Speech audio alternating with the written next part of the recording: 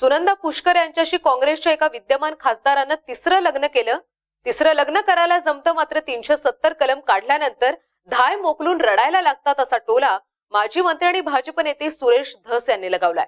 कर्जत तालुक्यात राम शिंदे यांच्या प्रचारार्थ आयोजित करण्यात आलेल्या सभेत ते बोलत होते राष्ट्रवादी काँग्रेस पक्षाची अवस्था मेरे दिल के तुकडे हजार हुए या हिंदी गाण्याप्रमाणे झाली असल्याचं यावेळी धस यांनी म्हटलंय. पाहूया. दादा तुमची आणि आमचे सुजय दादा सुद्धा जुन्या ज्या पक्षामध्ये होते ते काँग्रेस पार्टी आणि आमची राष्ट्रवादी काँग्रेस पार्टी.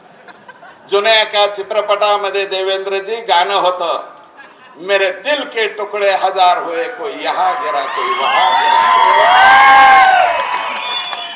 तशी आमची राष्ट्रवादी काँग्रेस पार्टीची अवस्था झाली. मेरे दिल के टुकड़े हजार हुए कोई यहा गेरा कोई कोई यहाँ चला गया कोई वहाँ चला गया कोई कहीं भी गया। हा व्हिडिओ तुम्हाला आवडला असेल तर असे आणखीन व्हिडिओ पाहण्यासाठी एम चे युट्यूब चॅनल सबस्क्राईब करा आणि बेल बटन दाबा. ताज्या अपडेट्स आणि घडामोडींसाठी पाहत रहा फक्त एम प्रतिबिंब वास्तवतेचं.